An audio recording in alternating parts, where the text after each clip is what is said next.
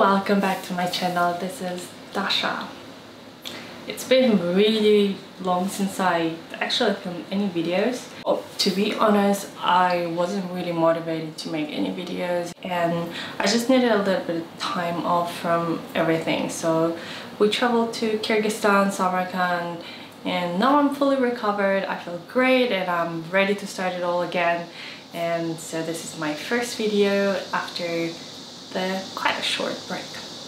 Okay, so I just thought maybe I should update on my current skincare and makeup and all this stuff. So let's start with Estee Lauder Micro Essence. I'm honestly not a fan of like applying toner on a cotton pad. Cotton pad and wiping face. I know it feels great, but I'm a, a bit of lazy person. So I just got this mini spray bottle rub my face, my neck as well. Okay, but in the nighttime I use the ordinary lactic acid 10% plus HA. This is the acid that I use to peel my dead skins. But if you never tried any acid products, maybe you should try with, I believe they have 5%. Mine is 10%. So I just I'll drop it on a cotton pad, even though I'm quite lazy. And I use it only in the nighttime and I don't need to use any other like exfoliator or anything like that. So it's really easy and simple. And then I go for this La Roche-Posay Effaclar Duo so um, brightening trouble essence I'll say. Probably you, you guys remember how my skin was really bad but now it recovered pretty good. Of course I have few like red spots here because because yesterday I squeezed a little bit of whiteheads but overall my skin condition is really good these days. I don't like to feel like I have too many products in my face. This is French drugstore product. Gentle, mild and usually when I use like all these trouble care product it feels quite rough on my skin but it just feels like everyday product. And then I'm going for eye cream. Dalpang Dalfang Dalfin Depuffing Antioxidant Eye Cream. I personally like eye creams that have really dense and like rich texture but this product is really light, it's gel textured but for summertime I think it's really good eye cream to use. Okay, now moving on to the cream, Cicaplast Balm B5. It's a little bit heavy texture for summertime, but uh, because I'm not using any other like essence or any different products, I think it's good enough for me. And I try to use just only small amount. I think it'll be really, really great product to use in the autumn or in the springtime because your skin tends to get really dry and sensitive during those times. Kind of like help to get rid of all my skin trouble. Let me be honest with you guys. For the past three weeks while I was in Kyrgyzstan, I haven't been using sunscreen at all. My skin honestly did not develop any dark spots or freckles. It's a bit weird. So um, sunscreen that I like to use, Dr. G Green Mild Up Sun. So I'm um, just gonna apply a tiny amount especially because I squeezed yesterday a bit of whitehead I have to apply sunscreen right now. Never forget your neck. I started gaining more wrinkles on my neck and this is quite stressful.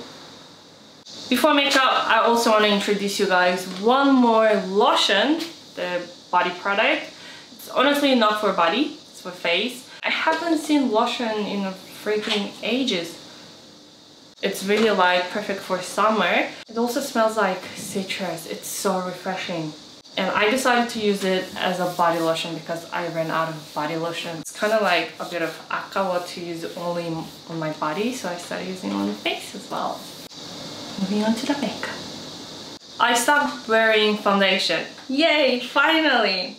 My skin recovered really well and now I don't feel anymore that I need to cover my skin with foundation but obviously when I film makeup tutorial I will still wear foundation. It's Stretch Concealer from Glossier, the shade is medium.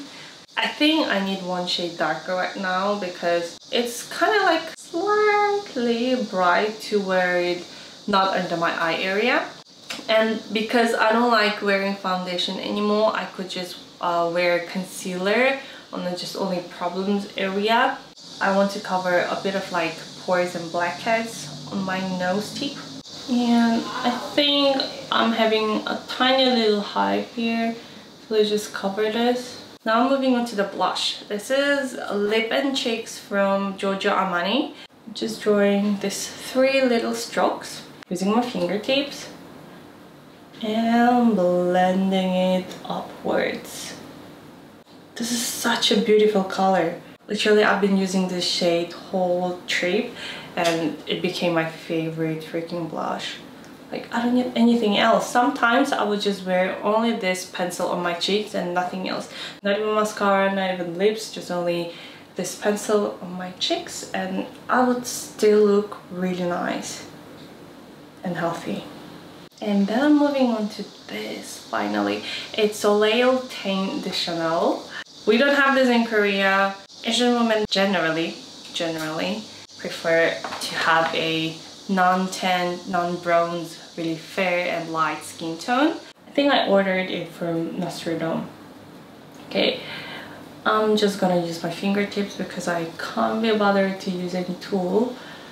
It has really creamy texture. Uh, I don't think it feels really like light. It has a bit of kind of like silicone texture or something mousse.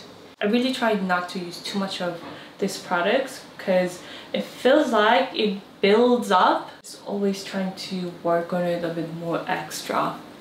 Alright, now we need to set the makeup.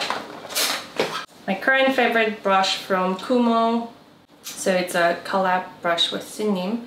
So I apply this powder especially under my eyes where I applied my concealer because this Glossier concealer definitely needs a set. Okay, and with whatever left on my brush, I'm just gonna swipe my face really lightly.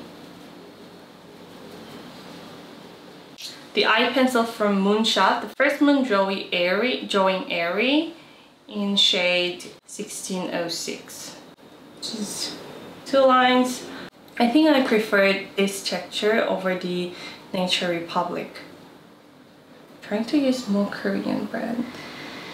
My lower lash line as well. I'm just gonna use my fingertip and blend this thing. Let's contour slightly as well. Yeah, that's it. So easy, simple, quick. Now I got my eyelashes. Maybelline just a few touches. Okay, this mascara is not really doing much. Uh-uh, not happy. When your mascara is not doing its job, and your lashes keep falling down and you don't have any like color or anything else that you could, you know, curl your lashes like matches, lighter and cotton bud. You just use your fingers and curl your lashes and hold them for maybe a minute. Now I'm feeling like highlighters, so I'm going to grab this Glossier Play Niteshine Platinum Rose on top of my cheekbones, just a little bit. Fingertips again. Dab, dab, dab, dab, dab, dab, dab. But whatever is left of fingertips, on my eyebrow bone and also temple. Okay, now I want to add a little bit of natural glow, so I'm going to use this Balm Essentiel, Essential from Chanel in transparent.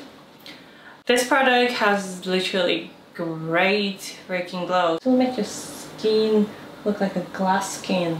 What a beauty and also it kind of like gets a bit more wet with the time so don't try to put too much of the product. Don't be greedy okay?